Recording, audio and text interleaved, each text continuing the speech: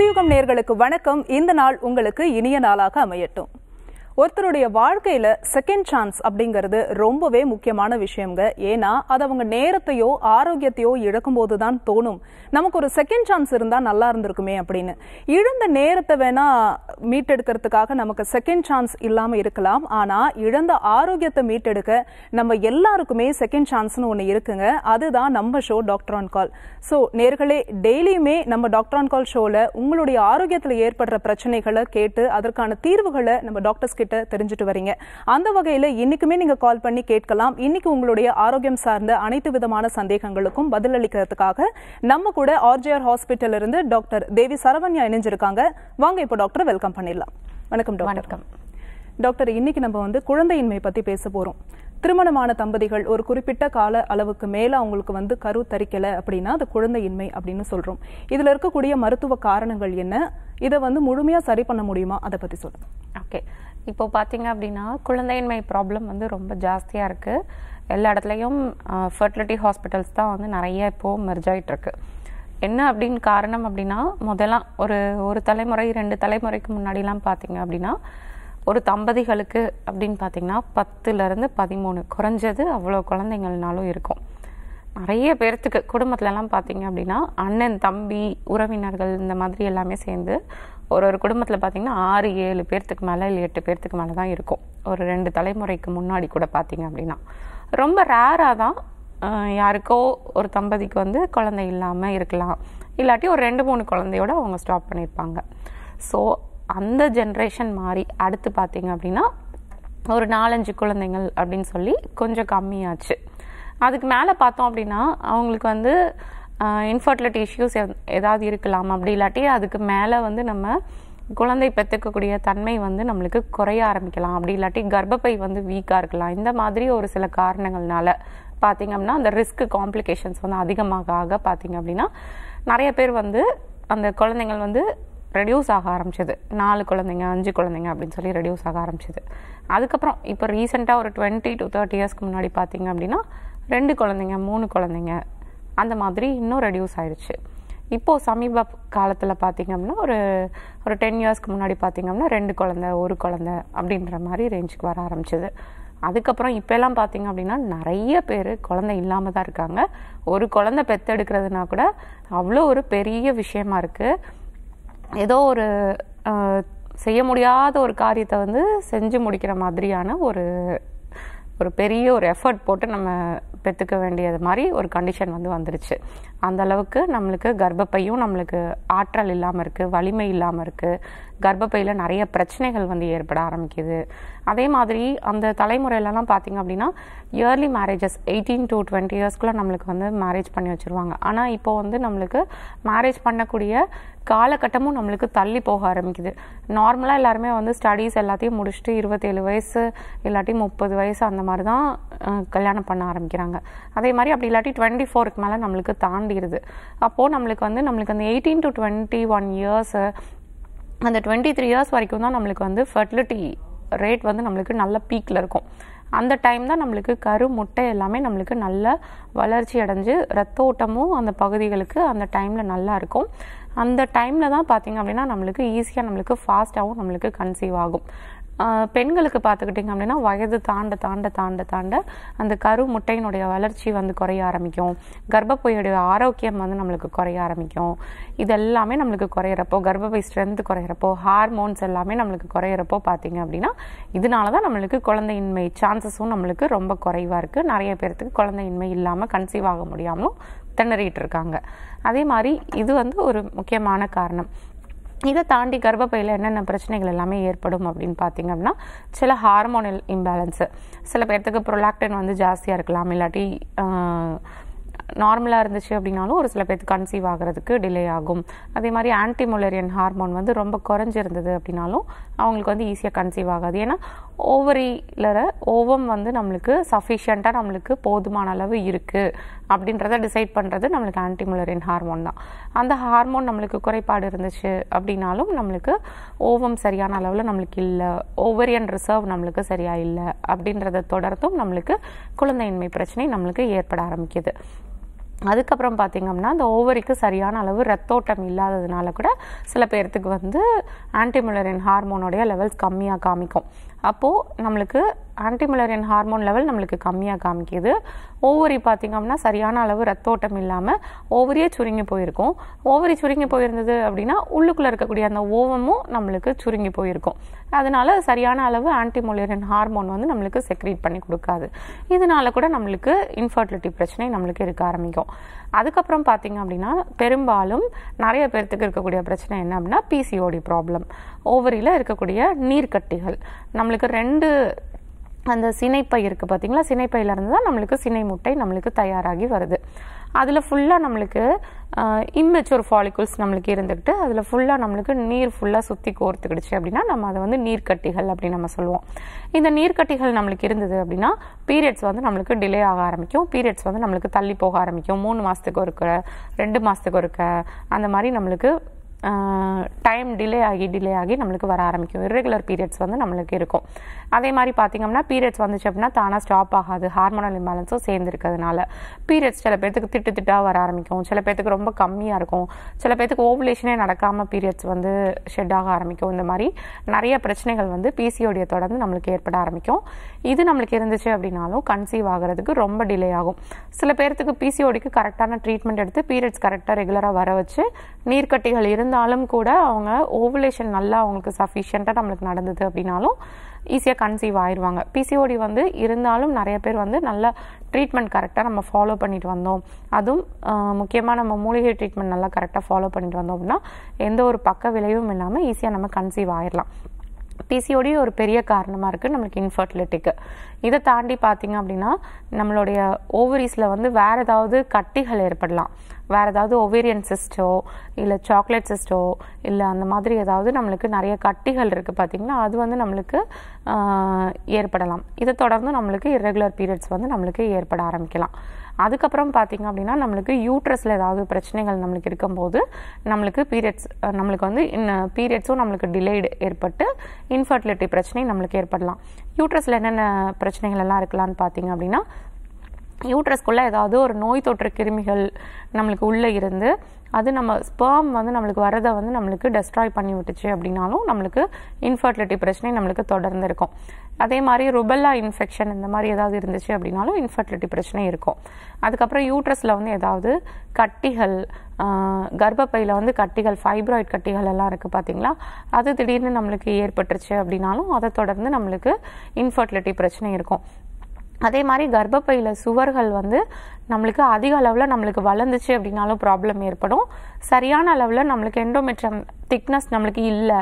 ரொம்ப அதனுடைய வளர்ச்சிகள் வந்து நம்மளுக்கு இல்லவே இல்லை. எண்டோமெட்ரியம் லைனிங் நம்மளுக்கு சுத்தமாகவே இல்லை. ரெண்டு எம்எம் மூணு எம்எம் தான் வளருது. நார்மலாக நம்மளுக்கு ஒரு கரு வந்து அங்கே போய் புதையிறதுக்கு நம்மளுக்கு ஏழுலேருந்து ஒம்பது மில்லிமீட்டர் வரைக்கும் நம்மளுக்கு வளர்ச்சி ஏற்பட்டிருக்கணும். அது இல்லாமல் குறைந்து ஏற்படுதோ? இல்லை அதிவேகமாக நம்மளுக்கு வளர்ச்சி ஏற்பட்டு எண்டோமெட்ரோசஸ் கண்டிஷன் மாதிரி நம்மளுக்கு ஏற்பட்டு பல்கி யூட்ரஸ் பிரச்சனை இருந்துச்சு அப்படின்னாலும் இன்ஃபர்டிலிட்டி ப்ராப்ளம் நம்மளுக்கு ஏற்பட ஆரம்பிக்கும். அதுக்கப்புறமா நம்மளுக்கு அந்த ஓவம் ரிலீஸ் ஆகி நம்மளுக்கு வருது பார்த்தீங்களா ஓவரியிலேருந்து அது வந்து நம்மளுக்கு ஃபலோப்பியன் டியூப் வழியாக நம்மளுக்கு அந்த ஆம்பிளா மூலமாக தான் நம்மளுக்கு ஓவம் வந்து நம்மளுக்கு கேட்ச் ஆகும். அது வழியாக தான் நம்மளுக்கு உள்ளே போகும். அப்போது அந்த பாதையில் ஏதாவது அடைப்புகள் ஏற்பட்டிருக்கலாம். அந்த ஃபலோப்பியன் டியூப் பிளாக்கேஜ் வந்து நம்மளுக்கு ஏற்பட்டிருக்கலாம். அது சதை அடைப்பாகவும் இருக்கலாம் அது நீர் அடைப்பாகவும் நம்மளுக்கு இருக்கலாம் இல்லாட்டி கொழுப்புகள் ஏதாவது வந்து நம்மளுக்கு அடைச்சிட்டு இருக்கலாம். அந்த மாதிரி அடைப்பு ஏதாவது இருந்துச்சு அப்படின்னாலும் ஓவம் வந்து நம்மளுக்கு அந்த கரு முட்டை நம்மளுக்கு உள்நோக்கி வரதை நம்மளுக்கு தடுத்துரும். அப்படி இருக்கப்போ அது வந்து ஸ்பேமை வந்து நம்மளுக்கு மீட் பண்ணாது. அது வந்து சேராது. நம்மளுடைய விந்தணுக்களை வந்து நம்மளுக்கு சேராது. அப்படி சேராமல் இருக்கும்போதும் நிறைய பேர்த்துக்கு பார்த்துக்கிட்டிங்க அப்படின்னா ஃபலோப்பியல் டியூப் பிளாக் சுருங்கி இருந்தாலோ அந்த மாதிரி ஏதாவது அடைப்புகள் வந்து நம்மளுக்கு இருந்தாலும் நம்மளுக்கு இன்ஃபர்டிலிட்டி பிரச்சனை நம்மளுக்கு ஏற்பட ஆரம்பிக்கும். இந்த மாதிரி எந்த பிரச்சனை இருந்தாலும் நம்மளுக்கு வந்து பார்த்திங்க அப்படின்னா நம்ம ஆர்ஜியா ஹெர்பல் மருத்துவமனையில் மூலிகை தைலங்கள் வந்து உள்ளே குடிக்க கொடுக்குறோம். அதை கரெக்டாக ரெகுலராக ஃபாலோ பண்ணிட்டு வந்தோம் அப்படின்னா ஃபலோப்பியன் டியூப் பிளாக்கேஜாக இருக்கட்டும் நம்மளுக்கு ஃபைப்ராய்ட் கட்டிகளாக இருக்கட்டும் பிசிஓடிகளாக இருக்கட்டும் நோய் தொற்று கிருமிகளாக இருக்கட்டும் எதுவாக இருந்தாலும் நம்மளுக்கு ஃபுல்லாக நம்மளுக்கு கம்ப்ளீட்டாக சரியாகி ஆரோக்கியமான ஒரு குழந்தை வந்து பெற்றுக்கிறதுக்காக ஒரு தன்மையை வந்து நம்மளுக்கு ஏற்படுத்தி கொடுக்கும் இந்த மூலிகை மருந்துகள். அதுபடி கரெக்டாக ஃபாலோ பண்ணிட்டு வந்தோம் அப்படின்னா கட்டாயம் வந்து நம்மளுக்கு ஈஸியாக நம்மளுக்கு கன்சீவ் ஆயிரும். குழந்தை இல்லை அப்படின்ற மாதிரி வரி பண்ண தேவையில்லை. கண்டிப்பாக கன்சீவ் ஆயிரும். ஃபர்ஸ்ட் காலர் லைன்ல இருக்காங்க. யாருன்னு பார்க்கலாம். வணக்கம். ஹலோ வணக்கம் மேடம் சொல்லுங்க. யார் எங்கிருந்து பேசுறீங்க? ஹலோ வணக்கம். நான் என் பேர் காயத்ரி. சொல்லுங்கம்மா எங்கிருந்து பேசுறீங்க? நாங்க சென்னையில இருந்து பேசுறோம். இந்த கேள்வி யாருக்கா கேக்குறீங்க? அம்மா கோசம் கேக்குறேன் மேடம். அவங்க வயது சொல்லிட்டு தொடர்ந்து டாக்டர் கிட்ட பேசுங்கம்மா. அம்மாக்கு வயது வந்து ஃபிஃப்டி ஃபைவ் ஆகுது. அம்மா வணக்கம். ஆ ஆ வணக்கம் டாக்டர்.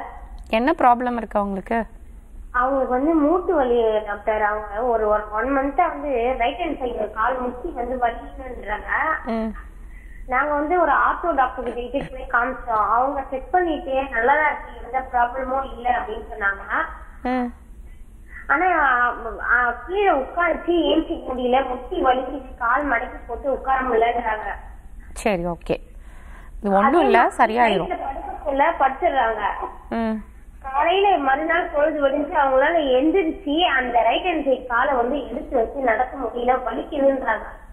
சரி ஓகே ஓகே அப்புறம் வந்து எனக்கு வந்து எது பொருள் சாப்பிட்டாலும் ஜீரணமாகிற மாதிரி ஒரே ஜீரணம் இல்லாத அந்த சாப்பிட்ட ஸ்மெல்லோட வாசனை அப்படியே வந்துட்டே இருக்கு. ஆனா பசி இன்ட்ரெஸ்ட் இருக்குது. பசி எடுக்குது. காலையில சாப்பிட்டோம்னா மத்தியானம் சாப்பிடறதுக்குள்ள அந்த ஜீரண வாசனை வந்து சாப்பிட்ட அந்த பொருளோட வாசனை வந்து வந்தபடியே இருக்கு. அடுத்த வேளை அதனால சாப்பிட முடியல டாக்டர். சரி ஓகே. சரியா செரிமானம் ஆகலை. அதனால தான் அப்படி இருக்கு. சரியா? முட்டி வலிக்கு பயப்பட தேவையில்லை. முட்டி வலிக்கு அர்ஜயா ஹெர்பல் மருத்துவமனையில் நல்ல ட்ரீட்மெண்ட் இருக்கு. நடக்க முடியாதவங்க கூட எந்திரிச்சு நடந்திருக்காங்க. அதனால சாதாரணமாக இப்போ பெயின் வந்து இனிஷியலாக வந்திருக்கு அப்படின்னா கொஞ்சம் இந்த மெனோபாஸ் ஆனதுக்கப்புறம் லேடிஸ்க்கு பார்த்தீங்க அப்படின்னா எஸ்ட்ரோஜன் ஹார்மோன் குறைவு வந்து ஏற்படும். அதனால தொடர்ந்து கொஞ்சம் அந்த ஐம்பது வயசு தாண்டிலாம் பார்த்தீங்க அப்படின்னா முட்டுகளுக்கு போகக்கூடிய சத்துக்கள் நம்மளுக்கு குறைய ஆரம்பிக்கும். அதனால நம்மளுக்கு வலிகள் வந்து நம்மளுக்கு ஏற்பட ஆரம்பிக்கும். ப்ளஸ் அந்த டைம் வந்து நம்மளுக்கு எடை வந்து கூடும். நார்மலாகவே உடல் எடை வந்து நம்மளுக்கு கூடும். அப்படி உடல் எடை கூடுறப்போ நம்மளுக்கு ஸ்ட்ரெயின் ஆகுறதுனால உள்ளுக்குள்ளே எந்த டேமேஜ் இல்லை அப்படின்னாலும் நம்மளுக்கு நர்வ் கம்ப்ரெஷன்ஸ் ஏற்பட்டுச்சு அப்படின்னாலும் நம்மளுக்கு வலி வந்து நம்மளுக்கு ஏற்பட ஆரம்பிக்கும். இப்போ ஃபஸ்ட்டு இருக்கும். அதுக்கப்புறம் இதை வந்து நீங்கள் வலி மாத்திரையை போட்டு நீங்கள் சப்ரஸ் பண்ணிட்டீங்க அப்படின்னா ரெண்டு மூணு மாதத்துக்கு இருக்காது. அதுக்கப்புறம் ஒரு நாலஞ்சு மாதம் தாண்டி பார்த்தீங்க அப்படின்னா வலிகள் வந்து ரொம்ப சிவியராக வர ஆரம்பிச்சிடும் அப்புறம் வருஷம் கூட கூட பார்த்தீங்க அப்படின்னா வலி வந்து அதிகமாயிட்டே போகும். ஒரு ஸ்டேஜில் அதுக்கப்புறம் பார்த்தீங்க அப்படின்னா நம்மளுக்கு உள்ளுக்குள்ளே நம்மளுக்கு டீஜெனரேஷன்ஸ் ஆயிருக்கிறது தெரியாது. அப்புறம் முட்டி தேய்மானமாக ஏற்பட ஆரம்பிச்சிடும் அதுக்கப்புறம் சர்ஜரி பண்ணணும்னு சொல்லி வலியுறுத்துவாங்க. சர்ஜரி பண்ணினாலும் திரும்ப உங்களுக்கு வந்து வலி வந்துக்கிட்டே தான் இருக்கும். நிரந்தரமான ஒரு தீர்வு வந்து கிடைக்காம இருந்துகிட்டே தான் இருக்கும். ஆனால் இதை வந்து ஃபஸ்ட்டே வந்து இந்த மூலிகை மருந்துகள் ஃபாலோ பண்ணி பஞ்சகர்ம சிகிச்சை வர்ம சிகிச்சையெல்லாம் ஃபாலோ பண்ணீங்க அப்படின்னா முட்டிகளுக்கு ரத்த ஓட்டம் நல்லா கூடி வந்துடும் இந்த தேஞ்சு போன சிதைஞ்சு போன லிகமெண்ட்ஸ் எல்லாமே நம்மளுக்கு நல்லா டெவலப் ஆகி நம்மளுக்கு வந்துடும் அப்புறம் முட்டுகள் வந்து நல்லா ஸ்ட்ரென்தன் ஆகும். திரும்ப உங்களுக்கு லைஃப் லாங் வலிகள் வந்து உங்களுக்கு வராமல் இருக்கும். அதே மாதிரி டைஜஷன் ஏதாவது ப்ராப்ளம் இருந்துச்சு மலச்சிக்கல் ஏதாவது பிரச்சனை இருந்துச்சு அப்படின்னா அதை நம்ம சீர் செஞ்சிட்டோம் அப்படின்னா இது வந்து கம்ப்ளீட்டாக நம்மளுக்கு நிரந்தரமாகவே நம்மளுக்கு சரியாயிரும். அதுக்கப்புறம் நம்ம ஆயில் அப்ளிகேஷன்ஸ் பற்று ஒட்டடம் இது மாதிரிலாம் நம்ம பண்ணுறப்போ முட்டுகளை சுற்றி இருக்கக்கூடிய அந்த ரத்த ஓட்டம் நம்மளா நல்லா நம்மளுக்கு சீராக ஆரம்பிக்கும். அந்த ரத்த ஓட்டம் நம்மளுக்கு நல்லா சீராயிருச்சு அப்படின்னாவே ஆட்டோமேட்டிக்காக நம்மளுக்கு முட்டுகளை சுற்றி இருக்கக்கூடிய அந்த வீக்கம் வலி எல்லாமே நம்மளுக்கு குறைய ஆரம்பிச்சிடும் ஒரு மூணு மாதம் நாலு மாதம் தொடர்ந்து மருந்து எடுக்கிறப்போ முட்டுகள் நல்லா பலமாயிடும். அந்த சுற்றி இருக்கக்கூடிய லிகமெண்ட்ஸு அதே மாதிரி தசைகள் தசை நார்கள் எல்லாமே பலமாயிரும். பலமாயிடுச்சுன்னா வலி நம்மளுக்கு திரும்ப வரவே செய்யாது. இது மாதிரியான ட்ரீட்மெண்ட் தான் எத்தனையோ பேர்த்துக்கு எங்களுடைய ஆர்ஜியா ஹெர்பல் மருத்துவமனையில் பண்ணிகிட்ருக்கோம் நிறையா நிறைய பேர் நடக்க முடியாமல் வருவாங்க. வீல் சேரில் வருவாங்க. இல்லாட்டி வாக்கிங் ஸ்டிக் வச்சு வருவாங்க. வாக்கரில் வருவாங்க. இது எல்லாத்தையும் யூஸ் பண்ணிட்டு இருப்பாங்கல்ல சில பேர் வந்து தாங்கி தாங்கி செவுத்தை பிடிச்சிட்டே வருவாங்க. சில பேர் ஒருத்தவங்களுடைய சப்போர்ட்டோட வருவாங்க. இந்த மாதிரி தான் நிறையா பேஷண்ட் வந்து சர்ஜரி பண்ணுறதுக்கு இன்டியூஸ் பண்ணியிருக்காங்க சர்ஜரி பண்ணுறதுக்கு அட்வைஸ் பண்ணியிருக்காங்க எனக்கு பயந்து போய் தான் நான் இங்கே ட்ரீட்மெண்ட்டுக்கு வந்தேன். சர்ஜரி பண்ணிவிட்டு திரும்ப நடக்க முடியுமோ என்னமோ அப்படின்ற ஒரு பயத்தில் தான் நான் இந்த ட்ரீட்மெண்ட்டுக்கு வந்தேன். அப்படின்னு சொல்லி தான் நிறைய பேஷண்ட் எங்களுடைய மருத்துவமனைக்கு வருவாங்க. அப்படிப்பட்ட பேஷண்ட் எங்களுடைய மருந்துக்களை வந்து அழகாக சாப்பிட்டு அதுக்கப்புறம் தானே நடந்து வருவாங்க. யாரோட சப்போர்ட்டும் இல்லாமல் ரெண்டாவது மாதம் நடந்து வர ஆரம்பிப்பாங்க. நடையில் வந்து தள்ளாட்டம் கூட இருக்காது. அந்த மாதிரி நல்லா ஈஸியாக கம்ஃபர்டபுளாக நடந்து வருவாங்க. அந்த அளவுக்கு எங்களுடைய மூலிகை மருந்துகள் வலி மாத்திரை இல்லாமல் எதுவுமே இல்லாமல் பெயின் கில்லர் இன்ஜெக்ஷன்ஸ் அந்த மாதிரி எதுவுமே போடாமல் வெறும் மூலிகை மருந்துகள் இன்டர்னலாக எடுத்து தைலம் ஒட்டிடம் இந்த பஞ்சகர்ம சிகிச்சை இது எல்லாத்தையும் ஃபாலோ பண்ணிவிட்டு ஒரு மாதத்தில் நல்லா அழகாக நடந்து வருவாங்க. அந்த அளவுக்கு நல்ல ட்ரீட்மெண்ட் இருக்குது அதே மாதிரி செரிமானம் நல்லா ஆகணும் அப்படின்னா கொஞ்சம் நல்லா ஹாட் வாட்டர் குடிங்க. டைஜஸ்டிவ் ஜூஸஸ் வந்து ரொம்ப கம்மியான அளவில் குறைந்த அளவில் நம்மளுக்கு செக்ரெட் ஆகி வர்றதுனால தான் அந்த மாதிரி இன்டைஜஷன் ஆகாமல் ஒரு மாதிரி அந்த ஃபுட்டோடைய ஸ்மெல் அப்படியே எதிரெடுத்து நம்மளுக்கு வர ஆரம்பிக்குது. டைஜஷன் நல்லா ப்ராப்பராக நம்மளுக்கு நடந்துருச்சு அப்படின்னா அந்த மாதிரி வராது. டைஜஷன் நல்லா என்ஹான்ஸ் பண்ணுறதுக்கு காலையில் எந்திரிச்சோடனே வெறும் வயிற்றுல என்ன பண்ணுறீங்க அப்படின்னா ஒரு டிகாஷன் மாதிரி செஞ்சு வச்சுட்டு அதை வந்து குடிச்சிட்டு வாங்க. கண்டிப்பாக உங்களுக்கு சரியாயிரும். இஞ்சி சாறு இருக்குது பார்த்திங்கன்னா அந்த இஞ்சி சாறு வந்து இஞ்சியை வந்து தோல் நீக்கிட்டு அதை இடித்து அதை சாறு மாதிரி எடுத்து வச்சுக்கோங்க. இது வந்து தேவையான அளவு ஃபஸ்ட்டு எடுத்துக்கோங்க. எடுத்துட்டு அதை ஒரு பாத்திரத்தில் ஒரு மண் பாத்திரத்தில் ஊற்றிட்டு ஒரு அகல் மாதிரி ஒரு சின்ன பாத்திரத்தில் ஊற்றிட்டு அதை லைட்டாக ஹீட் பண்ணுங்கள் ஹீட் பண்ணதுக்கப்புறம் ஒரு மாதிரி சுருக்கு சுருக்குன்னு ஒரு மாதிரி சவுண்ட் வந்து கேட்கும். சவுண்ட் வந்ததுக்கப்புறம் ஆஃப் பண்ணிடுங்க ஜென்டிலாக தான் ஹீட் பண்ணணும். சிம்லேயே வச்சு ஹீட் பண்ணுங்கள் கொஞ்ச நேரம் அதை அப்படியே அப்படியே விட்டிங்க அப்படின்னா அந்த இஞ்சி சாறில் இருக்கக்கூடிய சுண்ணாம்பு சத்து எல்லாமே வந்து ஒரு மாதிரி டெபாசிட் மாதிரி நம்மளுக்கு அடியில் நம்மளுக்கு தங்க ஆரம்பிச்சிரும். மேலே அந்த தெளிஞ்ச நீர் இருக்குது பார்த்தீங்களா அதை மட்டும் எடுத்து லைட்டாக அப்படியே எடுத்து வடிகட்டி எடுத்து வச்சுக்கோங்க. இல்லாட்டி மேலாப்பில் உள்ள தெளிஞ்ச நீர் மட்டும் இருத்து எடுத்துக்கோங்க. அது வந்து ஒரு டென் எம்எல் எடுத்துக்கோங்க.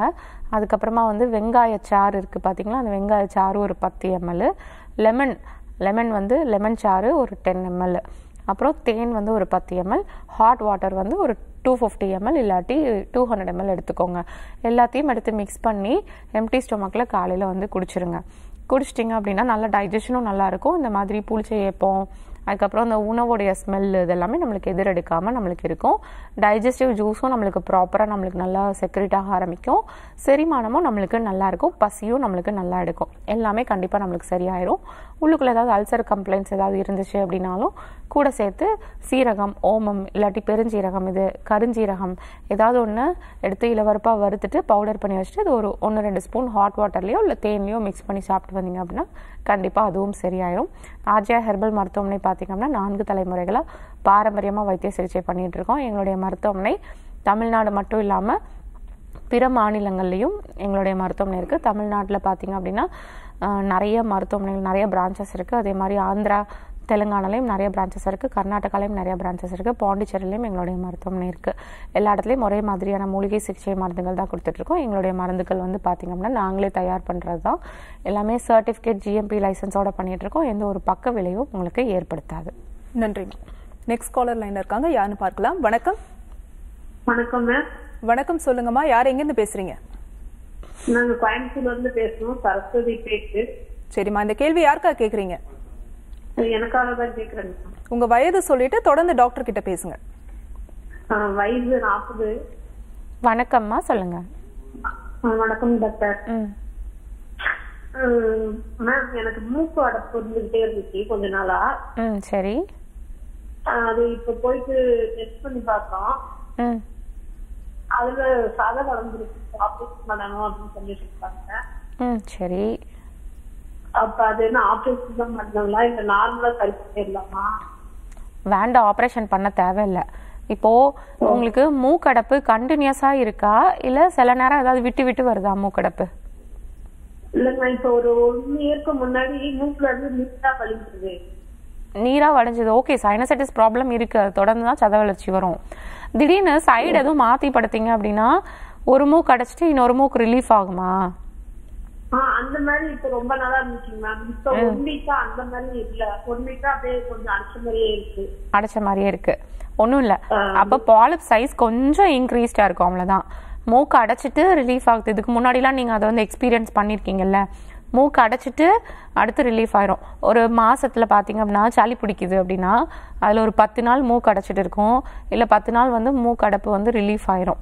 இந்த மாதிரி மாறி மாறி நிறைய பேர்த்துக்கு வந்துட்டுருக்கோம். அதே மாதிரி திடீர்னு ஒரே நாள்லேயே பார்த்தீங்க அப்படின்னா திடீர்னு இந்த சைடு நம்ம திரும்பி படுத்தாவே நம்மளுக்கு மூக் மூக்கடைப்பு வந்து நம்மளுக்கு சரியாயிரும். ஒரு சில பேர்த்துக்கு பார்த்துக்கிட்டிங்கன்னா நைட்டு மூக்கடைப்பு இருக்கும் காலையில் வந்து மூக்கடைப்பு வந்து சரியாயிரும். இந்த மாதிரி மாறி மாறி வந்துட்டே இருக்கும். அப்படின்னா மூக்கடைப்பு உள்ளுக்குள்ளே நம்மளுக்கு இருந்துச்சுனாவே சின்னதாக நம்மளுக்கு பாலிப்ஸ் மாதிரி நம்மளுக்கு இருக்கும். அது வந்து நம்ம சத வளர்ச்சி அப்படின்னு நம்ம சொல்லுவோம். அது இருக்க தான் செய்யும் எல்லாத்துக்குமே. அது சளி வந்து வெளியேறிடுச்சு. அந்த ரன்னிங் நோஸ் மாதிரி நம்மளுக்கு வந்து நம்மளுக்கு சளி வெளியேறிடுச்சு அப்படின்னா மூக்கடப்பும் நம்மளுக்கு விட்டுரும். சத வளர்ச்சியும் நம்மளுக்கு குறைஞ்சிரும். அது அமுங்கிரும். அப்படியே ஃப்ளாட் ஆயிரும் நம்மளுக்கு. நார்மலாக நம்மளுக்கு மூக்கு அடைப்பு நம்மளுக்கு இருக்குது அப்படின்னாவே உள்ளுக்குள்ளே சதை இருக்குது அப்படின்னு அர்த்தம். மூக்கு அடைப்பு நம்மளுக்கு ரிலீஃப் ஆயிடுச்சு அப்படின்னா சதை கரைஞ்சு அமுங்கி ஃப்ளாட் ஆயிடுச்சு அப்படின்னு அர்த்தம். மாறி மாறி இருந்துகிட்டே இருக்கும். தானாகவே கரையக்கூடியதை ஒன்று எதுக்கு நம்ம சர்ஜரி பண்ணி நம்ம கரைக்கணும்? மருந்துகள் எடுத்து சளி ஆட்டோமேட்டிக்காக வெளியே வந்துருச்சு அப்படின்னா மூக்கடைப்பு தன்னால் ரிலீஃப் ஆயிரும். இப்போ நீங்கள் நான் சொல்கிறத ஒன்று பண்ணுங்க. மூக்கடைப்பு நல்லா ரிலீஃப் ஆகிட்டு உங்களுக்கு நல்ல ஒரு ரிலீஃப் வந்து கிடைக்கும். ஆனால் இது வந்து நம்மளுக்கு திரும்ப திரும்ப திரும்ப திரும்ப நம்மளுக்கு வராமல் இருக்கிறதுக்காக தான் அலர்ஜி லெவலை குறைச்சி இம்யூனிட்டி பவரை நல்லா பூஸ்டப் பண்ணி கொண்டு வர மாதிரியான மூலிகை மருந்துகள் நம்ம உள்ளுக்குள்ளே எடுக்கணும். நல்ல டைஜஷனை வந்து நல்லா என்ஹான்ஸ் பண்ணுற மாதிரியான மூலிகை மருந்துகள் எடுக்கணும். பிற்காலத்தில் நம்மளுக்கு திரும்ப திரும்ப நம்மளுக்கு சளி பிடிக்காதவாறு உடம்ப வந்து நல்லா வலிமையாக்குறதுக்கு மருந்துகள் எடுத்தோம் அப்படின்னா இந்த சைனசைட்டிஸ் ப்ராப்ளம் நம்மளுக்கு திரும்ப ரீஅக்கர் ஆகாது.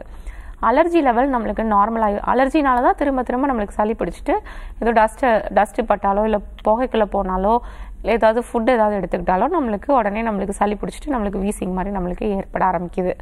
அந்த அலர்ஜியை வந்து நம்ம சரி பண்ணி கொண்டு வந்துட்டோம் அப்படின்னா இந்த ப்ராப்ளம் நம்மளுக்கு கம்ப்ளீட்டாக நம்மளுக்கு க்யூர் ஆயிரும். ஒரு சிற்றரத்தை துண்டு இல்லாட்டி மஞ்சள் விராலி மஞ்சள் துண்டு அப்படி இல்லாட்டி சுக்கு ஏதோ ஒன்று எடுத்து இல்லாட்டி கண்டம கண்டங்கத்திரி காஞ்ச பழம் இருக்குது பார்த்தீங்களா அதை ஊசியில் குத்திட்டு இதில் ஏதோ ஒன்று எடுத்துக்கலாம். இது எடுத்துக்கிட்டு அதை வந்து நல்லா தீ நுனியில் காமிச்சு நல்லா அதை சுட்டு கருக்கி அதுலேருந்து வரக்கூடிய அந்த புகையை வந்து நல்லா இன்ஹேல் பண்ணுங்கள் டக்குன்னு நாசல் பாலிப்ஸ் குறைஞ்சிரும். அப்படி இல்லாட்டி ஆவி பிடிங்க டக்குன்னு வேது பிடிங்க டக்குன்னு நாசல் பாலிப்ஸ் வந்து கம்ப்ளீட்டாக உங்களுக்கு குறைஞ்சிரும். அதே மாதிரி எங்களோட ஆர்ஜே ஹெர்பல் மருத்துவமனை நாங்கள் கொடுக்கக்கூடிய மூலிகை மருந்துகளை கரெக்டாக ஃபாலோ பண்ணிட்டு வந்தீங்க அப்படின்னா வித்தின் டூ டு த்ரீ டேஸில் உங்களுக்கு நாசல் பாலிப்ஸ் கட்டாயம் உங்களுக்கு கரைஞ்சி வெளியேறிடும் அதே மாதிரி சளியும் நம்மளுக்கு வெளியேறி போயிடும் ஈஸியாக ப்ரீத்திங் வந்து ஈஸியாக நம்மளுக்கு பண்ணலாம். அந்தளவுக்கு நல்ல ட்ரீட்மெண்ட் எங்களுடைய ஆர்ஜே ஹெர்பல் மருத்துவமனை சைனசைட்டிஸ்க்காக இருக்குது ஒரு தடவை ட்ரீட்மெண்ட் கரெக்டாக ஃபாலோ பண்ணிவிட்டு சரியாயிடுச்சு அப்படின்னா வாழ்நாள் முழுக்க சைனசைட்டிஸ் ப்ராப்ளம் திரும்ப திரும்ப ரீஎக்கர் ஆகவே செய்யாது. அந்தளவுக்கு நல்ல ட்ரீட்மெண்ட் எங்களுடைய ம- மருத்துவமனையில் நான்கு தலைமுறைகளை பாரம்பரியமாக கொடுத்துட்ருக்கோம் ஒரு காலர் லைன்ல இருக்காங்க. யாருன்னு பார்க்கலாம். வணக்கம். ஹலோ வணக்கம்மா. சொல்லுங்க. யார் எங்கிருந்து பேசுறீங்க? மேம் நான் சேலத்துல இருந்து மீனாட்சி பேசுறேங்க மேம் சொல்லுமா. இந்த கேள்வி யாருக்கா கேக்குறீங்க? எனக்காக மேம் உங்க வயது சொல்லிட்டு தொடர்ந்து டாக்டர் கிட்ட பேசுங்க. ஓகேங்க மேம் எனக்கு டுவெண்ட்டி ஒன் ம் வணக்கம்மா. சொல்லுங்கள் ma'am good morning good morning சொல்லுங்கள் மேம் இது எனக்கு குழந்தை ரெண்டு மூணு வருஷமா இல்லைங்க குழந்தை இல்லையா? ஆமாங்க. மேம் சரி இது நானும் நீர் கட்டி இருந்துச்சுங்க மேம் தைராய்டு இருந்துச்சுங்க மேம் ம் சரி. நீர் கட்டி கரைஞ்சிருச்சுன்னு சொல்லிட்டாங்க. அப்புறம் தைராய்டு வந்து ஆப்ரேஷன் பண்ணி எடுத்துட்டேங்க மேம் தைராய்டு கிளாண்ட் எடுத்தாச்சா? ஆமாங்க மேம் ரொம்ப ரெண்டு கிளாண்டுமே எடுத்துட்டீங்களா? இல்லைங்க மேம் ஒன்று தான். ஒன்று தானே எடுத்திருக்கீங்க. சரி ஓகே ம். ஒண்ணுதான் ரொம்ப பெருசா இருந்துச்சு மேம் எடுத்துட்டோம் மேம் ம். அதெல்லாம் எடுக்கக்கூடாது. தைராய்டு கிளாண்ட்லாம் எடுத்தால் நம்மளுக்கு கண்டிப்பாக நம்மளுக்கு குழந்தை உண்டாகிறதுக்கு கஷ்டப்படும். கிளாண்டு வீங்கி இருந்துச்சு அப்படின்னா அது வந்து குறைச்சிடலாம் அதுக்குள்ளே வந்து கொழுப்பு கட்டியாக இருக்கும் இல்லாட்டி ஏதாவது சதை கட்டியாக தான் இருக்கும். அந்த கட்டி கரைஞ்சிரும். கட்டி கரையிறதுக்கெலாம் நிறைய மருந்து மூலிகைகள் இருக்குது சரியா? நார்மலாகவே கட்டி கரைஞ்சிரும். நிறைய பேர் மருந்து ட்ரீட்மெண்ட் எடுத்ததுக்கப்புறம் அந்த தொண்டை வீங்கினதெல்லாம் வந்து குறையும் பார்த்தீங்களா குறைஞ்சிருக்கு பார்த்துருக்கீங்களா எத்தனையோ பேர் எங்களுடைய மருத்துவமனையில் பார்த்தீங்கன்னா பேஷண்ட்டு ட்ரீட்மெண்ட் எடுத்தவங்க. நல்லா வீங்கி போய் கட்டியோடு வருவாங்க பெரிய கட்டியோடு வருவாங்க. ட்ரீட்மெண்ட் எடுக்க எடுக்க மூணாவது மாதம் நாலாவது மாதம் பார்த்தீங்க அப்படின்னா அப்படியே நல்லா குறைஞ்சிரும் நல்லா வத்தி போயிடும் கழுத்து அப்படியே சில பேர்த்துக்குலாம் நார்மலே வந்துடும் அந்தளவுக்கு கட்டியெல்லாம் கரைஞ்சிரும். ஒன்றுமே பண்ணாது. அதை வந்து நம்ம அறுத்து எடுத்துடணும் எடுத்துடணும் அப்படின்ற ஒரு அவசியமே கிடையாது. அப்படி எடுத்துட்டோம் அப்படின்னா இந்த மாதிரி பிரச்சனைகள் நம்மளுக்கு ஏற்பட ஆரம்பிக்கும். பிசிஓடி சரியாயிடுச்சுன்னு சொன்னாங்க இல்லையா? பிசிஓடிலாம் சரியாயிடும். பீரியட்ஸ் ரெகுலராக வர ஆரம்பிச்சது அப்படின்னாவே பிசிஓடி வந்து நார்மல் ஆயிரும். சில நாளைக்கு பார்த்துக்கிட்டிங்க அப்படின்னா ஓவரியில் நீர்க்கட்டிகள் இருக்குது அப்படின்னு சொல்லி ஸ்கேன் ரிப்போர்ட்டில் நம்மளுக்கு காமிக்கும். நல்ல ஒரு மூணு நாலு பீரியட்ஸ் நல்லா ரெகுலராக வந்துடுது நல்ல மூலிகை மருந்துகள் எடுத்து இல்லாட்டி ஹோம் ரெமடிஸ் கூட எடுங்க. சத்தான மருந்துகள் நல்லா ஹீமோகுளோபின் லெவலை நல்லா கூட்டுங்க. அப்படி பண்ணி நல்லா எக்ஸசைஸ் பண்ணி பீரியட்ஸ் ரெகுலராக நம்மளுக்கு வந்துருச்சு அப்படின்னாவே ஒரு மூணாவது மாதமோ நாலாவது மாதமோ போய் திரும்ப நீங்களே ஸ்கேன் பண்ணி பாருங்கள் பிசிஓடி கட்டிகள் இருக்காது. பாலிசிஸ்டிக் ஓவரிஸ் சேஞ்சஸ் வந்து இருக்காது. அது அப்படியே மாறிடும் பிசிஓடி நிறைய இம்மெச்சூர் ஃபாலிகல்ஸ் ஓவரியில் உள்ளே இருக்குது பெரிஃபரல் ரீஜனில் இருக்குது ஓவரி ஃபுல்லாக இருக்குது அப்படின்னு சொல்லக்கூடிய அந்த ரிப்போர்ட்ஸ் வந்து பார்த்தீங்க அப்படின்னா ஒரு மூணு நாலு மாதம் நல்லா ரெகுலராக பீரியட்ஸ் வந்ததுக்கப்புறம் திரும்ப போய் நீங்கள் செக் பண்ணி பார்த்தீங்க அப்படின்னா ஓவரி நார்மல் அப்படின்னு காமிக்கும். இது நிறைய பேஷண்ட்டுக்கு நாங்கள் கண் கூட பார்த்துருக்கோம் சரியா? அதனால் பிசிஓடிக்கு நீங்கள் பயப்பட தேவையில்லை. அது சரியாக போகக்கூடிய ஒரு விஷயம்தான். அப்பப்போ வரும் நம்மளுக்கு உடம்பு எடை கூடுச்சு அப்படின்னா சரியாக பீரியட்ஸ் ஒரு ரெண்டு மாதம் மூணு மாதம் நம்மளுக்கு சரியாக போகலை அப்படின்னா நீர் கோர்த்துக்கும். அதுக்கப்புறம் தன்னால் அந்த ரெண்டு மூணு பீரியட்ஸ் நம்மளுக்கு போனதுக்கப்புறம் பார்த்தீங்க அப்படின்னா அது ஆட்டோமேட்டிக்காக சரியாக போயிடும் அந்த நீர் எல்லாமே நம்மளுக்கு வெளியே எக்ஸ்க்ளூட் ஆயிரும் சரியாக போயிடும் சரிங்களா? அதே மாதிரி இப்போ தைராய்டு நம்மளுக்கு அந்த டிஸ்டர்பன்ஸை வந்து நம்மளுக்கு சரி பண்ணணும். தைராய்டு ஹார்மோன்ஸ் கண்டிப்பாக வந்து ஃப்ளக்சுவேஷன்ஸ் இருக்கும். அதனால கூட அவங்களுக்கு வந்து கன்சீவ் ஆகிறதுக்கு டிலே ஆகிட்டே இருக்கும். அந்த ஒரு தைராய்டு கிளாண்ட் இருக்குது பார்த்தீங்களா அதை வச்சே நம்ம வந்து நல்லா ஃபங்க்ஷன் பண்ண வச்சு தேவையான அளவு தைராய்டு ஹார்மோன்ஸ் வந்து செக்ரீட் பண்ண வைக்கணும். அப்படி அது நல்லா போதுமான அளவு நம்மளுக்கு செக்ரீட் ஆச்சு அப்படின்னா கரு நல்லா நம்மளுக்கு அழகாக தங்க ஆரம்பிக்கும். அது லெவல்ஸ் நம்மளுக்கு கொஞ்சம் குறைவாக இருந்தது. சப்போஸ் சஃபிஷியண்ட்டாக இல்லை அப்படின்னாலும் லிவரை வந்து நம்ம நல்லா ஸ்டிமுலேட் பண்ணி நல்லா தைராய்டு கிளாண்டை வந்து நல்- நல்லா ஸ்டிமுலேட் பண்ண வைக்கணும். அதே மாதிரி பிட்விட்ரி கிளாண்ட் போதுமான அளவு நம்மளுக்கு தைராக்சின் தைராய்டு ஸ்டிமுலேட்டிங் ஹார்மோன்ஸை நம்மளுக்கு நல்லா செக்ரீட் பண்ணுற அளவுக்கு நம்ம பண்ணணும். இது மாதிரி நம்ம பண்ணி கொண்டு வந்தோம் அப்படின்னா கண்டிப்பாக நம்மளுக்கு வந்து கரு வந்து நம்மளுக்கு தங்கும். அபார்ஷன் ஆகாமல் நம்மளுக்கு கரு நல்லா வளர ஆரம்பிக்கும்.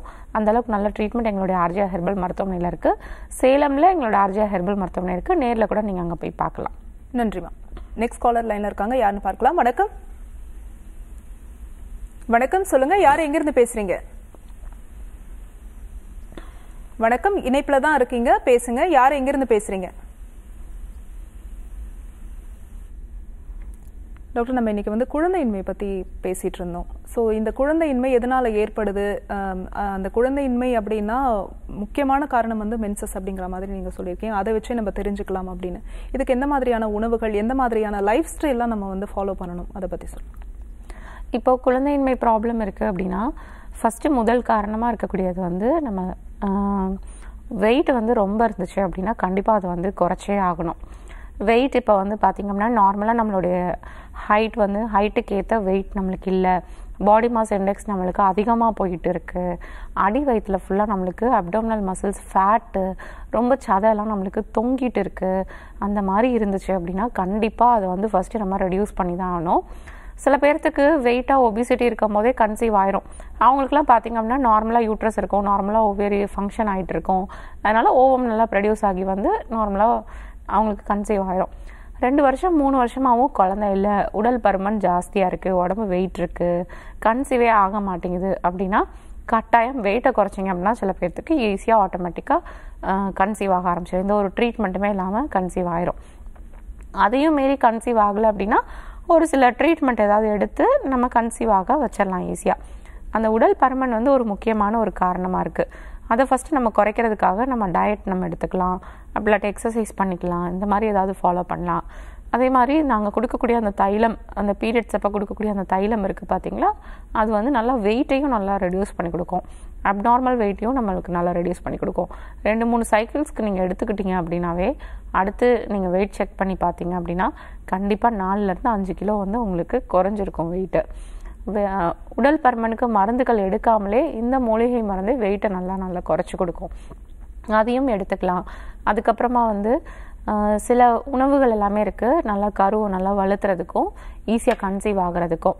டெய்லி நைட்டு பார்த்தீங்க அப்படின்னா இந்த பாதாம் பருப்பு ஆல்மண்ட் இருக்குது பார்த்தீங்களா அந்த ஆல்மண்டெல்லாம் பார்த்திங்க அப்படின்னா ஒரு ஓவரி ஷேப்பில் தான் இருக்கும். அந்த ஆல்மண்ட் வந்து நைட்டு ஒரு பத்து பதினஞ்சு ஆல்மண்டை நல்லா ஊற வச்சுட்டு அது காலையில் எடு எந்திரிச்சோன்னே அதை வந்து தோலை ஃபுல்லாக நல்லா உரிச்சிட்டு அந்த ஆல்மண்டை வந்து நல்லா மென்று சாப்பிடணும். தம்பதிகள் இரண்டு பேருமே மென்று சாப்பிட்றது ரொம்ப நல்லது. அதுக்கப்புறம் ஆண்கள் பார்த்துக்கிட்டிங்க அப்படின்னா கொட்டையுள்ள அந்த கருப்பு திராட்சை இருக்குது பார்த்தீங்களா? அதை கொஞ்சம் நல்லா கண்டினியூஸாக ரெகுலராக எடுத்துக்கலாம். அது எடுக்கிறப்போ பார்த்தீங்க அப்படின்னா நல்லா விந்து அணு செக்ரீஷன்ஸ் வந்து நல்லா இருக்கும். நல்லா அதை வந்து மென்று நல்லா முழுங்கி சாப்பிட்றணும் அது வந்து தோல் வந்து ரொம்ப ஹார்டாக இருக்குது சக்க சக்கையாக வருது அப்படின்னு சொல்லிட்டு துப்பிடக்கூடாது. எல்லாத்தையும் நல்லா மென்று நல்லா அந்த ஜூஸையும் நல்லா முழுங்கிடணும். அதுக்கப்புறம் அந்த தோல் அந்த கொட்டை எல்லாத்தையும் நல்லா ஒரு ரெண்டு மூணு தடவை நல்லா சியூ பண்ணிவிட்டு அதுக்கப்புறம் அதையும் வந்து நம்ம நல்லா விழுங்கிடணும். இந்த மாதிரி ஃபாலோ பண்ணிட்டு வந்தீங்க அப்படின்னா விந்தணு செக்ரேஷன்ஸும் நல்லாயிருக்கும் அதே மாதிரி பார்த்தீங்க அப்படின்னா டெய்லி ஒன்று ரெண்டு கேரட் அது வந்து ஏதோ ஒரு டைமில் நீங்கள் வந்து உணவில் வந்து எடுத்துக்கோங்க. கேரட்டை வந்து ஜூஸ் ஆனாலும் நம்ம எடுத்துக்கலாம். அப்படி இல்லாட்டி வேக வச்சும் சாப்பிட்டுக்கலாம். அப்படி இல்லாட்டி பச்சையாக நம்ம கடிச்சு நம்ம மென்னும் சாப்பிட்டுக்கலாம். இதெல்லாம் ஃபாலோ பண்ணிக்கோங்க. அதுக்கப்புறம் உளுந்தங்களி இந்த மாதிரிலாம் ஃபாலோ பண்ணிக்கோங்க. எள்ளுருண்டை பீரியட்ஸ் டைம் சாப்பிடுங்க. இதெல்லாம் பண்ணிட்டு வந்தீங்க அப்படின்னா கருமுட்டை இது நல்லா வளர்ச்சி வந்து நல்லா இருக்கும் ஆரோக்கியமான ஃபுட்டு கொஞ்சம் நல்லெண்ணெய்லாம் உணவில் சேர்த்துக்கோங்க. மற்ற ஆயிலை ஃபுல்லாக கம்ப்ளீட்டாக ஸ்டாப் பண்ணிடுங்க இது பண்ணிட்டு வந்தீங்க அப்படின்னாவே கண்டிப்பாக ஈஸியாக நம்மளுக்கு கன்சீவ் ஆக ஆரம்பிச்சிடும் வணக்கம் மேடம் யார் எங்கிருந்து பேசுறீங்க? நான் திருநெல்வேலியில இருந்து சாந்தி பேசுறேன். சொல்லுங்கம்மா இந்த கேள்வி யாருக்காக கேக்குறீங்க? என் பொண்ணுக்காக கேக்குறேன் மேம் அவங்க வயது என்னன்னு சொல்லிட்டு தொடர்ந்து நீங்க டாக்டர் கிட்ட பேசலாம். ஓகே மேம் அவங்க அம்மா வணக்கம். வண- வண- வணக்கம் மேம் சொல்லுங்க. ஆ, அவங்க என் பொண்ணுக்கு பதினேழு வயசு ஆகுது. சரி. அவங்க பன்னெண்டு வயசுல பெரிய பொண்ணு ஆனாங்க ம். ஆ, அவங்க பிசிஓடி இருக்கு இப்போதைக்கு நாங்க பார்த்தோம். பீரியட்ஸே அவளுக்கு வர மாட்டேங்குது ஒரு ஃபைவ் இயர்ஸ்ல ஒரு டென் டைம்ஸ் இருக்கு அவ்வளவுதான். அவ்வளோதான் வந்திருக்கா? ஆமா. சரி ஓகே எத்தனை ஆனா மாதத்துக்கு ஒருக்கா ட்ரீட்மெண்ட் வருது? எடுத்துக்கிட்டே இருந்தீங்க அப்படின்னா உங்களுக்கு பீரியட் கரெக்டா வருது. அது என்ன ட்ரீட்மெண்ட்டு ஏதாவது ஹார்மோன் தெரப்பி கொடுப்பாங்க ப்ரொஜெஸ்ட்ரான் டேப்லெட் வந்து கொடுப்பாங்க. அது போட்டோன்னே ஷெட் ஆகி வந்துடும் அது எண்டோமெட்ரியல் ஷெட்டிங் தான் நடக்கும் ஓவலேஷன் வந்து நடக்காது. அது நடக்காதனால தான் அடுத்த பீரியட்ஸ் வர மாட்டேங்குது. அதுக்கும் மாத்திரை போட்டு அடுத்த பீரியட்ஸ் வர வைப்பீங்க. இந்த மாதிரி பண்ணிட்டு இருந்தோம் அப்படின்னா ஓம் அப்படியே பத்திரமா உள்ளுக்குள்ளே தான் இருக்கும். அது வந்து நம்மளுக்கு மெச்சூர் ஆகவே செய்யாது. இது ஒரு ஸ்டேஜுக்கு அப்புறம் பார்த்தீங்க அப்படின்னா ஒரு ரெண்டு வருஷம் மூணு வருஷம் தாண்டி இல்லை அஞ்சு வருஷம் தாண்டி பார்த்தீங்க அப்படின்னா அதுக்கு சுத்தமாக பிளட் சர்க்குலேஷனே இல்லாமல் போயிடும் அப்போது என்ன பண்ணாலும் நம்மளுக்கு கன்சீவ் ஆகிறதுக்கு ரொம்ப கஷ்டமாக இருக்கும். அதுக்கப்புறம் லேப்ரோஸ்கோபி பண்ணி அந்த நீர்க்கட்டியை ஃபுல்லாக எடுத்து விடுங்க அப்படிம்பாங்க. அதுக்கப்புறமும் சில பேர்த்துக்கு ஹார்மோனல் இம்பேலன்ஸ்லாம் ரொம்ப உச்ச கட்டத்தில் போயிடும் அப்படி போயிடுச்சு அப்படின்னா கன்சீவ் ஆகிறதுக்கு ரொம்ப டிலே ஆகும். ரொம்ப கஷ்டப்படுவாங்க கன்சீவ் ஆகிறதுக்கு. அதுக்கப்புறம் ஐயுஐ பண்ணுங்கள் ஐவிஎஃப் பண்ணுங்கள் அது பண்ணுங்கள் இது பண்ணுங்கன்னு சொல்லி உடம்பு தான் நோகும். உடம்ப வந்து புண்ணாக்கிடுவாங்க ரணமாக்கிடுவாங்க இந்த மாதிரி தான் நிறையா நடந்துகிட்ருக்கு நிறையா ஹாஸ்பிட்டல்ஸில் அந்த மாதிரி தான் நடந்துகிட்ருக்கு அதனால் இப்போவே கொஞ்சம் அந்த பீரியட்ஸை வந்து ரெகுலர் பண்ணிட்டீங்க அப்படின்னா சரியாக வந்துடும் உங்களுக்கு வெயிட் ரொம்ப அதிகமாக இருந்துச்சு அப்படின்னா வெயிட்டை வந்து குறைக்க சொல்லுங்கள் இப்போ காலகட்டங்களில் பார்த்தீங்க அப்படின்னா தங்களுடைய பிள்ளைங்களை வந்து செல்லமாக வளர்க்குறீங்க. எந்த வேலையும் செய்ய விடாமல் வளர்த்துட்ருக்கீங்க. அது வந்து பெற்றோர்கள் பண்ணக்கூடிய முதல் தப்பு. ஏன்னா பொண்ணுங்களை வந்து நல்லா ஏதாவது கூட்டி பெருக்கி வீடை தொடச்சி கொடுத்து அவங்களோட துணிகளை அவங்களே துவைக்க விட்டு தேவைப்பட்டால் உங்களுடைய கிளாத்ஸையும் சேர்த்து நல்லா குனிஞ்சு நெளிஞ்சு அவங்கள துவைக்க விட்டு இந்த மாதிரி அவங்க ஒர்க் பண்ணாங்க அப்படின்னாவே அவங்களோட அடி வயிறு நல்லா அவங்களுக்கு வந்து நல்லா ஃபங்க்ஷன் ஆக ஆரம்பிக்கும். அடிவயிறு மசில்ஸ் நல்லா அமுங்க ஆரம்பிக்கும். அந்த அடிவயிறு மசில்ஸ் நல்லா அமுங்கி வந்துச்சு அப்படின்னாவே இடுப்பில் இருக்கக்கூடிய அந்த பெல்விக் ப்ளோ பெல்விக் போனு அந்த pelvic floor muscles uterus ovary அந்த இடத்துல இருக்கக்கூடிய சுற்றி இருக்கக்கூடிய அத்தனை உறுப்புகளும் நம்மளுக்கு நல்லா ஃபங்க்ஷன் ஆக ஆரம்பிக்கும் நல்லா ஸ்டிமுலேட் ஆக ஆரம்பிக்கும். நார்மல் டெலிவரி ஆகும். எத்தனை பேர்த்துக்கு இப்போ சிசேரியன் நடந்துட்டுருக்கு? பின்னாடி குழந்தை பேர் நம்மளுக்கு பெற்றுக்கிற டைம் கூட நம்மளுக்கு ஈஸியாக நம்மளுக்கு நார்மல் டெலிவரி ஆகிற அளவுக்கு பெல்விக் போன் வந்து நம்மளுக்கு நல்லா ஃப்ளெக்சிபிளாக நம்மளுக்கு விரிஞ்சு கொடுக்கும். அந்த அளவுக்கு நம்ம பண்ணக்கூடிய வேலைகள் வந்து நம்மளுக்கு பின்னாடி நம்மளுக்கு ஹெல்ப் பண்ணி கொடுக்கும். அதனால் குழந்தைங்களை வந்து பார்த்திங்கன்னா செல்லமாக வளர்க்காம பொத்தி பொத்தி வச்சு வளர்க்காம கொஞ்சம் வீட்டு வேலைகள் எல்லாமே செய்ய விட்டு வளர்த்துங்க. அப்படின்னா தான் அவங்க பின்னாடி நல்லா இருப்பாங்க. பின்னாடி அவங்களுடைய கர்ப்பப்பையும் ஆரோக்கியமாக இருக்கும். எந்த ஒரு பிரச்சனைகளும் அவங்களுக்கு இல்லாமலும் இருக்கும். சீக்கிரமாகவே நம்மளுக்கு வந்து வெயிட்டு உடல் பருமன் அதெல்லாமே நம்மளுக்கு ஏற்படாது. இந்த டயத்தில் பார்த்திங்கன்னா ஹார்மோனல் இம்பேலன்ஸ் நிறைய ஏற்பட ஆரம்பிக்கும். ஹார்மோனல்ஸ் இம்பேலன்ஸ் ஏற்படாமல் உடல் வந்து நல்லா சீராக இருக்கும். இந்த மாதிரிலாம் பார்த்துக்கோங்க அதே மாதிரி கலர்ச்சி பருப்பு இருக்குது பார்த்திங்கன்னா அதை வந்து எடுத்துகிட்டு வந்து ஒரு ஃபிஃப்டி கிராம்ஸ் அளவு எடுத்து பவுடர் பண்ணி வச்சுக்கோங்க. கருமிளகு ஒரு பத்து கிராம் அளவு எடுத்து அதையும் பவுடர் பண்ணி வச்சுக்கோங்க. ரெண்டையும் சேர்த்து மிக்ஸ் பண்ணி வச்சுட்டு ஒரு காடா துணியில் போட்டு நல்லா அதை சலிச்சு எடுத்துக்கோங்க. அது நல்லா வஸ்திர காயம் சொல்லுவோம். நல்லா பொடியாக வந்து நல்லா சளிச்சு எடுத்ததுக்கப்புறம் அதை வந்து ஒரு ஸ்பூன் இல்லாட்டி ரெண்டு ஸ்பூன் வந்து ஹாட் வாட்டரில் மிக்ஸ் பண்ணி கொடுத்துட்டு வந்தீங்க அப்படின்னாலும் ரெகுலராக அதை சாப்பிட்டு வந்தாங்க அப்படின்னாலும் பீரியட்ஸ் வந்து கரெக்ட் ஆயிரும். உடல் பருமன் இருக்குது அப்படின்னா அதை குறைக்கிறதுக்காக வாக்கிங் ஏதாவது அவங்கள போக சொல்லுங்கள் அதே மாதிரி கொஞ்சம் ஃபஸ்ட்டு ஃபோர்டீன் டேஸ் பார்த்தீங்க அப்படின்னா உளுந்தங்களி வந்து எடுத்துக்கோங்க. அடுத்த ஃபோர்டீன் டேஸ் வந்து வெந்தய கஞ்சி இருக்குது பார்த்தீங்களா பச்சரிசி வெந்தயம் ஏலக்காய். இது எல்லாத்தையும் தட்டி போட்டு நல்லா கஞ்சி மாதிரி நல்லா காய்ச்சி அவங்களுக்கு வந்து கொடுத்துட்டு வாங்க. அந்த ஃபோர்டீன் டேஸும் ஏதாவது ஒரு நேரத்துக்கு வந்து நீங்கள் கொடுத்தீங்க அப்படின்னா போதும். நைட் வந்து கொடுக்க வேண்டாம். ஏன்னா வெந்தயம் சேர்த்துருக்கிறதுனால ஏதாவது பகல் நேரம் இல்லாட்டி மார்னிங் டைமே அவங்களுக்கு அந்த கஞ்சி வந்து கொடுத்துருங்க. அதுக்கப்புறம் பீரியட்ஸ் வந்துருச்சு அப்படின்னா அந்த டைம் வந்து எள்ளுருண்டை சாப்பிடுங்க. பீரியட்ஸ் வந்ததுக்கப்புறம் ரெண்டாவது நாள் காலையில் எம்டி ஸ்டொமக்கில் மலை வேப்பிலை இலை இருக்குது பார்த்தீங்களா அதை வந்து நல்லா சாறு மாதிரி எடுத்து அது வந்து ஒரு ஹண்ட்ரட் எம்எல்ஓ டூ ஹண்ட்ரட் எம்எல்ஓ அவங்களுக்கு குடிக்க கொடுங்க. அது சப்போஸ் கிடைக்கல அப்படின்னா அட்லீஸ்ட் வேப்பலை கொழுந்து இலையா இருந்து அதை வந்து எடுத்து மென்று சாப்பிட சொல்லுங்க. இல்லாட்டி அதை கூட அவங்களுக்கு மிக்சியில் போட்டு அரைச்சி சாறு மாதிரி எடுத்து கொஞ்சம் டைல்யூட் பண்ணி கூட அவங்களுக்கு அதை வந்து எம்டி ஸ்டொமக்கில் காலையில் வந்து கொஞ்சோன்னு ஒரு hundred ML to two hundred ML குடிக்க கொடுங்க. இதெல்லாம் கொஞ்சம் ஒவ்வொரு ஒரு பீரியட்ஸ்க்கும் பண்ணிட்டு வந்தீங்க அப்படின்னாவே பீரியட்ஸ் வந்து ரெகுலர் ஆகிடும் வெயிட் ரொம்ப அதிகமாக இருந்துச்சு அப்படின்னா அதை குறைக்கிறதுக்கு ட்ரை பண்ணணும். அப்படின்னா தான் பீரியட்ஸ் வந்து ரெகுலராக வரும். இதெல்லாம் ஃபாலோ பண்ணுங்கள் கண்டிப்பாக சரியாயிடும் நன்றிம்மா. நெக்ஸ்ட் காலர் லைனில் இருக்காங்க. யாருன்னு பார்க்கலாம். வணக்கம். வணக்கம் மேம். வணக்கம்மா சொல்லுங்க யார் எங்கிருந்து பேசுறீங்க? நான் பாண்டிச்சேரில இருந்து விமலா பேசுறேன் இந்த கேள்வி யாருக்கா கேக்குறீங்கம்மா? எனக்காக தாங்க மேம். சரி உங்க வயது சொல்லிட்டு தொடர்ந்து டாக்டர் கிட்ட பேசுங்க இணைப்புல தான் இருக்காங்க. Okay ma'am. அம்மா வணக்கம். வணக்கம் வணக்கம் டாக்டர். ம் சொல்லுங்கள் ஆ மேம் இந்த ஷோ நான் தொடர்ந்து பாக்குறேங்க மேம். ஓகே. என் பொண்ணுக்கெல்லாம் கேள்வி முன்னாடி கேட்டிருந்தேன். நீங்க வந்து சொன்னீங்க அது நல்லா இருந்துச்சு மேம். என்ன கேட்டிருந்தீங்க? இல்ல முன்னாடி என் பொண்ணுக்கு கேட்டிருந்தேன் கதை பிடிப்பு மாதிரி இருந்துச்சுன்னு சொன்னாங்க. சத்து குறைவுனால அது வருது- வருதுன்னு சொன்னீங்க. ஓகே. ஆஹ் இப்ப பரவாயில்ல. இப்போ நல்லா இருக்காங்களா? ஆஹ் இப்ப நல்லா இருக்காங்க மேம். இப்ப பரவாயில்லைங்க மேம். முன்னாடி ரொம்ப அடிக்கடி இப்ப பிடிச்ச மாதிரி வலிக்குதுன்னு சொல்லிட்டு சொல்லுவா. இப்ப குறைஞ்சிருச்சு மேம் பரவாயில்ல. எப்பயாச்சும் ஒரு டைம் தான் வருது. ஓகே. இப்போ உங்களுக்கு என்ன பிரச்சனை இருக்கு? இப்ப எனக்கு வந்துட்டு பாத்தீங்கன்னா பீரியட்ஸ் டைம்ல ரெண்டாம் நாள் ரொம்ப வயிறு வலிக்குதுங்க மேம். வயிறு வலி ரொம்ப ஜாஸ்தியா இருக்கா? சரி ஓகே ஆமாங்க மேம் ரொம்ப கடுமையா வலிக்குது. வந்து பிரசவ வலி எப்படி வலிக்கும்? அந்த மாதிரி வலிக்குதுங்க மேம் சரி ஓகே ரொம்ப தாங்கவே முடியாது. ஒரு சில டைம்ல தாங்கிப்பேன். இன்னொரு டைம் பாத்தீங்கன்னா மாத்திரை கூட வாங்கி போட்டுக்கோங்க மேம் அந்த மாதிரி வலிக்கும். ஓகே இப்போ ஒரு சில பேர்லாம் பார்த்தீங்க அப்படின்னா ஹாஸ்பிட்டல் கூட்டு கொண்டு போய் நரம்பு ஊசியை போட்டு அதுக்கப்புறம் தான் வலி ஸ்டாப் பண்ணுவாங்க. அந்த மாதிரிலாம் சில பேர்த்துக்கு வலி ரொம்ப சிவியராக இருக்கும். இதுக்கு என்ன பண்ணலாம் அப்படின்னா கல்யாண முருங்கை இலைன்னு சொல்லி ஒரு இலை இருக்குது சரியா? அது வந்து நம்ம முள் முருங்கைன்னு நம்ம சொல்லுவோம். இலை வந்து நல்ல ஒரு மாதிரி ஹார்ட் ஷேப் ஹார்ட் ஷேப் மாதிரி கிட்டத்தட்ட இருக்கும். அந்த இலையை எடுத்துகிட்டு வந்து ஒரு அஞ்சாறு இலையை எடுத்துக்கோங்க. அதை மிக்சியில் போட்டு அரைச்சோ இல்லை தட்டி பிழிஞ்சோ சாறு மாதிரி எடுத்துக்கோங்க. ஒரு தேர்ட்டி எம்எல் சாறு.